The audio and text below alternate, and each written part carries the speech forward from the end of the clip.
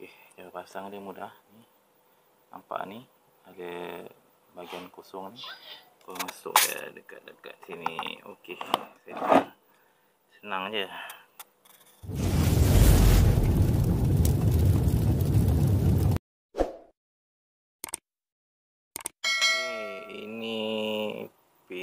Azhar yang saya dah buka. Korang boleh tengok eh. Kat sini dia ada ada 8 klip. Ha, ni klip dia. Ni klip dia lah. Keliling tu. Ada 8 klip. Tapi yang masalahnya yang selalu menyebabkan bunyi sebab original Pro 2 punya klip ni dia orang tak ada getah. Ha, dia tak ada getah. Sebab tu bila dah lama, bila dah, dah kereta dah 10 tahun, dia akan berbunyi lah. Ha, bergegar lah macam ni. Kau tengok ni. Ha, itu yang kadang dia tak grip jadi bunyi. Okey, uh, ini ini klip yang baru ni. Kau tengok dia ada getah. Ha, dia ada getah. Jadi dia serap sikit lah bunyi, tak bergegar sangat lah. Macam yang biasa tu kan. Okay, yang ni saya beli dekat Shopee. Harga dalam RM8, RM8 lebih kot nanti saya masukkan uh, dia punya link Shopee dekat dekat bawah video ni ya. Korang boleh tengok lah kalau nak beli. Uh, ini direct Malaysia. Ada yang dapat direct pada China. Lagi murah lah.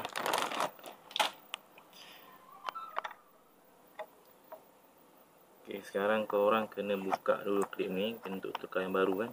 Okay, cara buka dia senang je. Pegang ni. Tarik. Tolak saja. Sebab saya ada, ada macam klip untuk masuk dan keluar saja. Ha, tolak, tarik dah. Settle. Lepas tu korang cabut lah yang ni. Yang bawah yang lain pun sama. Tolak, cabut. Okey, settle. Mudah saja cabut dia ni. Tak susah pun. Okey. Semua buka. Ini dah buka. Okey. Okey dah kita. Lepas tu tinggal masuk klip yang baru. Okey, ni klip yang baru eh. Korang boleh tengok dia ada getah. Nampak ada getah.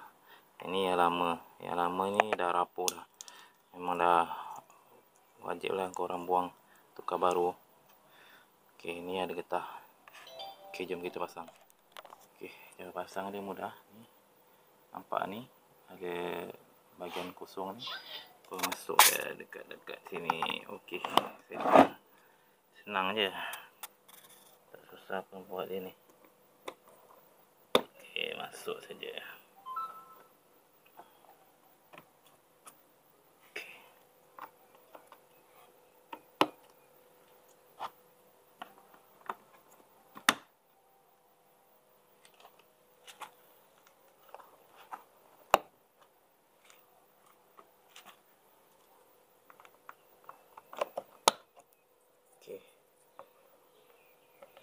dah saja.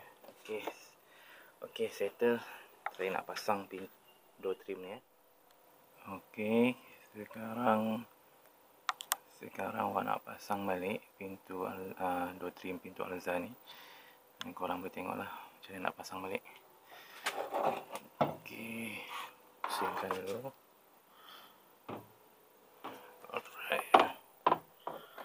Okey.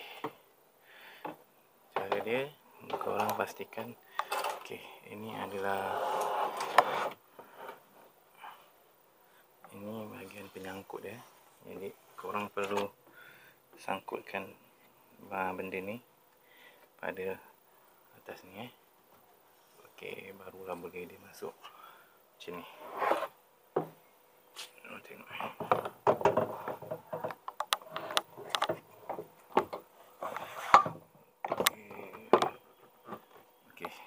tu je sangkut. Dah masuk eh? Ok dah masuk. Sampai hujung. Ok ni pun dah masuk. Ok pastikan pastikan masuk. Rapat eh? Macam ni. Ni dah rapat. Kemudian korang tengok dekat bahagian tepi ni. Tengok lubang klip tu. Ok nampak klip tu? Pastikan dia betul-betul masuk. Okey. Atas sama-sama eh ha, kalau dah masuk kau boleh tekan je lah.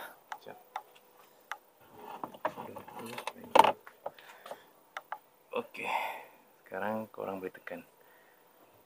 Ketuk ya. Ketuk ya. Sekejap eh. Okey ngau eh. Masuk. Okey kemudian bawah pula. Okey bawah pun ada tu. Okey. Pengetuk saya okey masuk. Lepas tu sebelah sini pula eh. Sini ada satu grip ketuk masukkan dia. Ini pun ketuk dekat. Tu bawah pun ketuk. Sini ada lagi satu. Satu lagi bawah.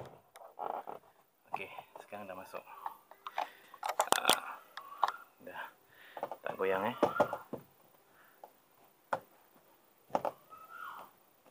Okey dah fit. Tak ada bunyi macam sebelum ni eh. Kemudian korang pasangkan. Pasangkan. Dia punya ni tempat kontrol power window ni. Ok bawah ni ada punya soket. Nanti korang masukkan soket ni. Kemudian korang pasang ni untuk